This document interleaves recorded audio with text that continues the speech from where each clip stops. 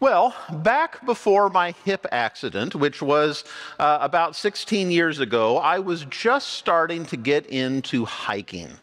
Now, at the time, I lived in central Kansas. Now, I want to tell you something. You might think that Kansas is not a good place to hike, but it really is. The scenery is so beautiful when you go hiking in Kansas and you can see for miles. But in Kansas hiking, there's not a lot of mystery. because you can see for miles. So I wonder what's around the next bend. Oh, right, I already know because I can see it right there. right? So when my wife and I were, uh, my, my, we were just married, we were going on our honeymoon actually to Colorado. We both thought we need to try some Colorado hiking and see what that's like. And uh, I'll tell you, as many of you probably know, it was pretty great. And the first trail we tried, uh, we loved. The trail was obvious, it was perfectly maintained. We saw all this beautiful scenery, and our legs were a little sore afterwards. Uh, but, but at least a few days after that, we decided we'd try again, and this time try a more difficult trail. and what we learned was that the, the, was that the trail was is that the the, uh, the, the trail was different. You know, sometimes there'd be some debris on the trail. You know, we can we can get around that. Sometimes the path would disappear for a little while and come back up. You know, it would disappear for a, lo- a little while and come back, and then it would disappear for a little while and not come back. and we realized we were lost.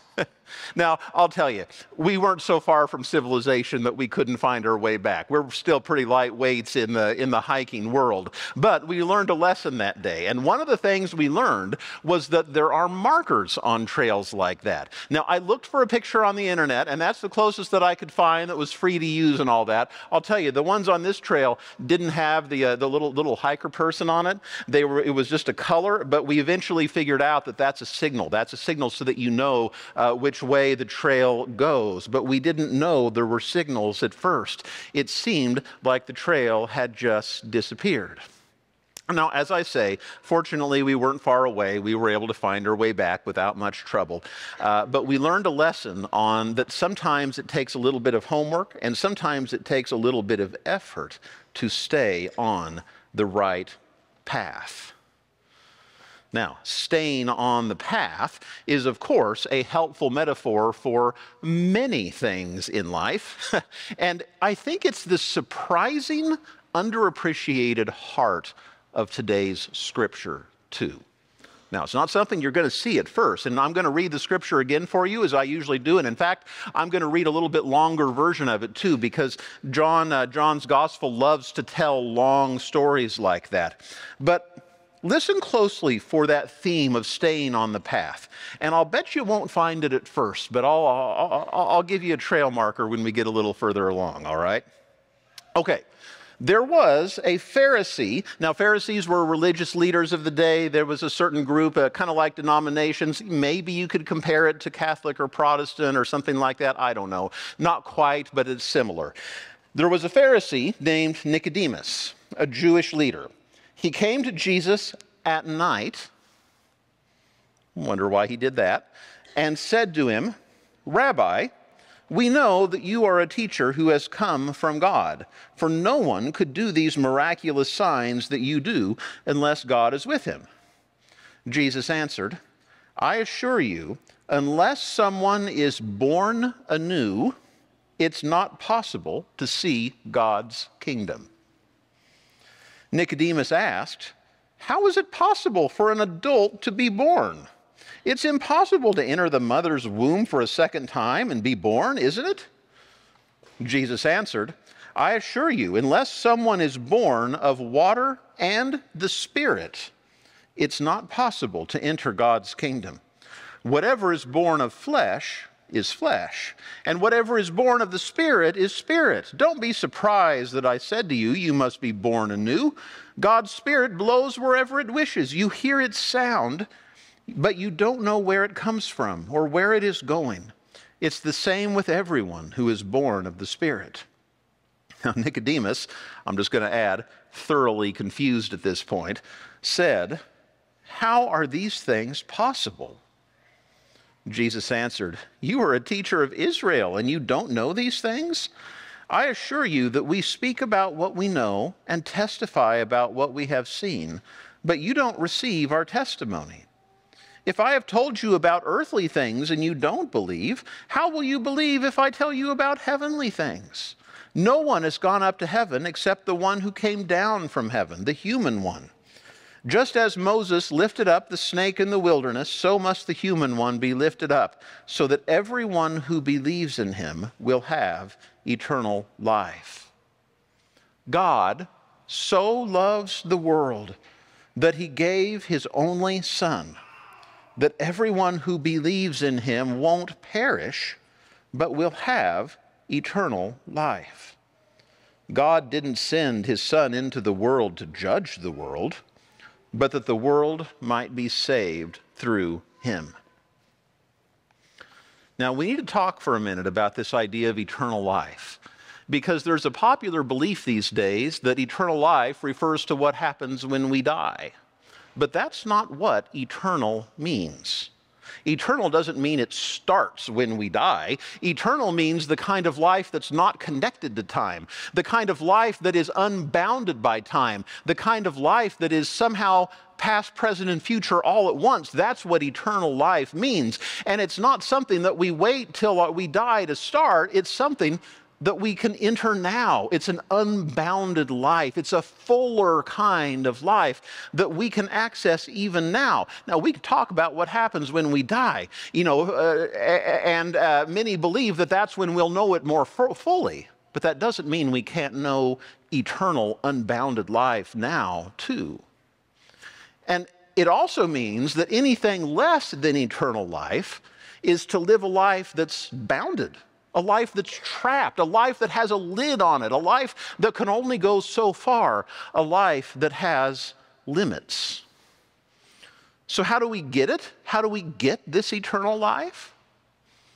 Well, as a pastor, it's always tempting to talk about spiritual practices, prayer, worship, coming together like this, study of Scripture, you know, coming to communion uh, as we're going to do here in a few minutes. But here's the thing those things can't give you eternal life. Prayer can't give you eternal life more than anything else. It can only be a gift that comes from God. It can only be God that opens your eyes through it all. Listen to this part again. Jesus answered, I assure you, unless someone is born anew, it's not possible to enter God's kingdom. Now, Nicodemus asks, What do you mean? He says, I assure you, unless someone is born of water and the Spirit, unless you are born not only in the normal way, but also born anew into God's kingdom, born anew into uh, God's eternal life, unless you are, it's not possible to enter God's kingdom. It's a gift from God. That's grace, you see. We can't earn our way into the life God wants for us. We can't work our way into it, even with things like prayer. It can only be a gift that God gives us. But here's the thing generation after generation of faithful have shown us another truth that this kind of birth into God's kingdom isn't one and done.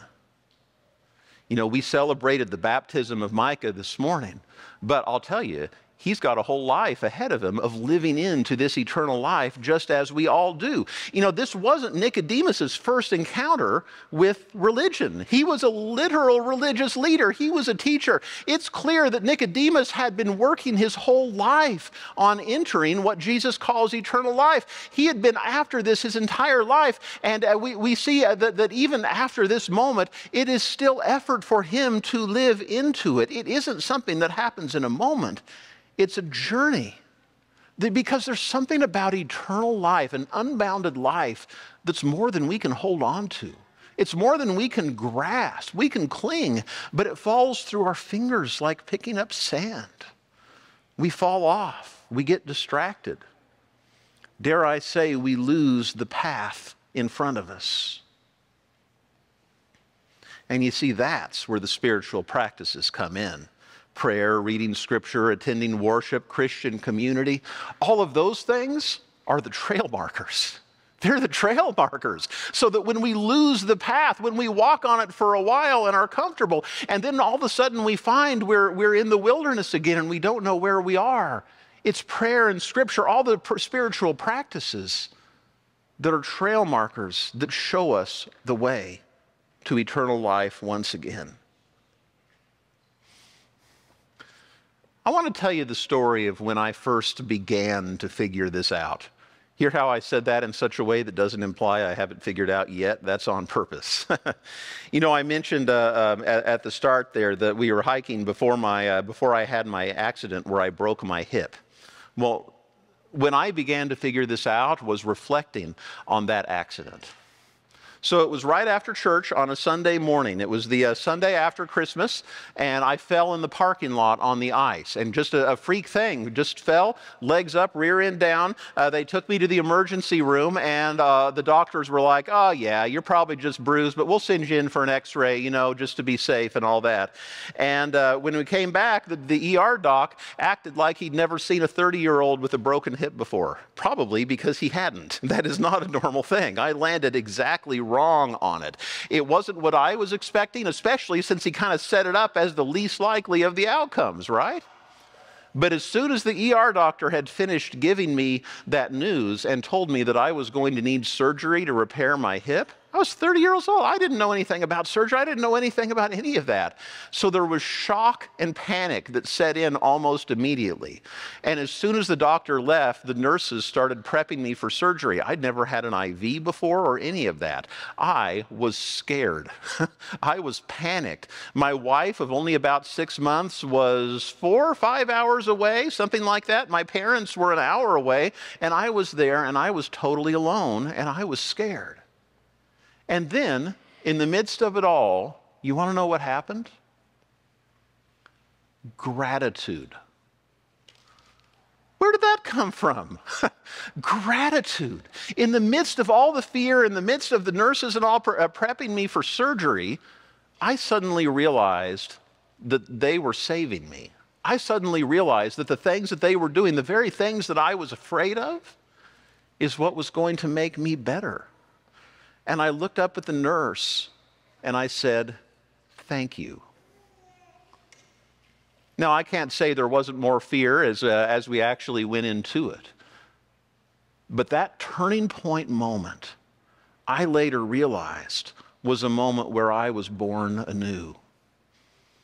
It was a moment where, by God's grace, not by my own actions, I realized that the world was bigger than I had thought. I realized that my life was bigger than I thought. And all of a sudden, I began to see in a, in a less bounded, more eternal way. Now, since then, I've fallen off more than once, and I've been trapped in my own little world again. On my good days, I still see the world around me like that. But on my bad days, I'm trapped, as I said, in my own self.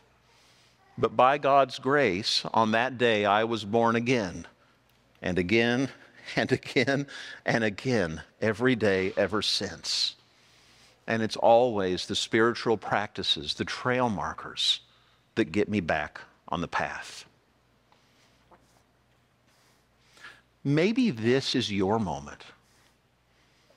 Maybe this is such a moment for you to get out of your own self and to see the world in a more unbounded way, to take a step into eternal life. Maybe this moment of worship is a trail marker for you. Or when we come to the table in a minute, maybe that will be your moment of being born anew. Born anew. It may very well be. Or Maybe for you, this is yet another return with an emphasis on yet another, born again with the emphasis on again. Regardless, I hope that today is a trail marker for you that opens you up to seeing life more eternally, to living life more eternally. Because to do anything less is stifling.